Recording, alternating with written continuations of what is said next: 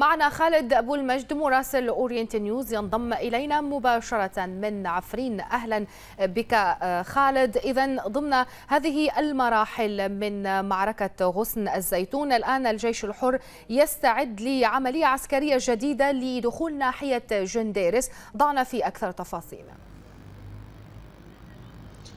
نعم هاجر. تقدم مستمر ومتواصل بالنسبة للجيش السوري الحر مدعوم من القوات التركية على عدة محاور وعدة نقاط تسيطر عليها وحدات حماية الشعب الكردية في شتى المواقع التي تسيطر عليها وتحديدا شرق عفرين وكذلك غربها. الجيش الحر سيطر على التلة الحاكمة لمنطقة جنديرس الواقعة غرب مدينة عفرين غرب مدينة عفرين وربما خلال الساعات القادمة أو يعني اليوم أو غدا ربما يعلن السيطرة عن ناحية جنديرس لأنها اليوم محاصرة من ثلاث محاور وباتت تحت نيران الجيش السوري الحر. من شرق عفرين أيضا الجيش الحر قبل قليل أعلن السيطرة نعم. على منطقة كفر جنة ويوم البارحة أعلن أيضا السيطرة على منطقة قطمة وتلالها وبالإضافة أيضا إلى ناحية شران وقرية خربة شران وقرية سنكري نعم. خالد ما المعلومات المتوفرة لديك الإضافية طبعا عن الأنباء التي تتحدث عن نقل قصد للعديد من عناصرها من الشمال السوري إلى عفرين للمشاركة في المعارك؟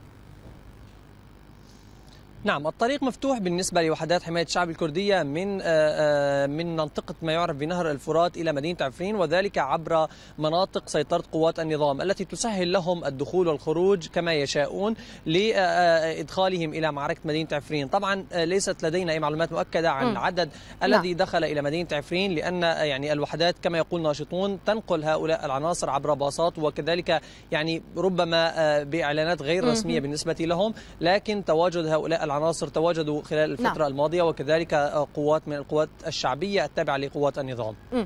خالد ما الوضع بالنسبة لكفر جنة يعني المعروف أنها تحوي ميليشيات للنظام يعني هل وقعت مبا يعني اشتباكات مواجهات مباشرة أم ماذا؟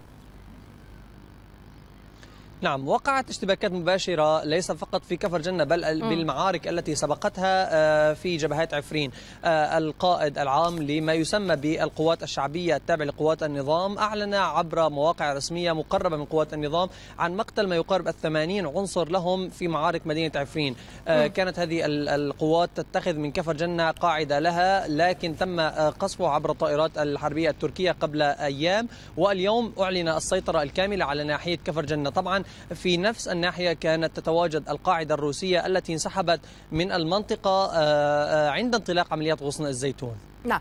أشكرك خالد أبو المجد مراسل أورينت نيوز كنت معنا مباشرة من شرق عفرين.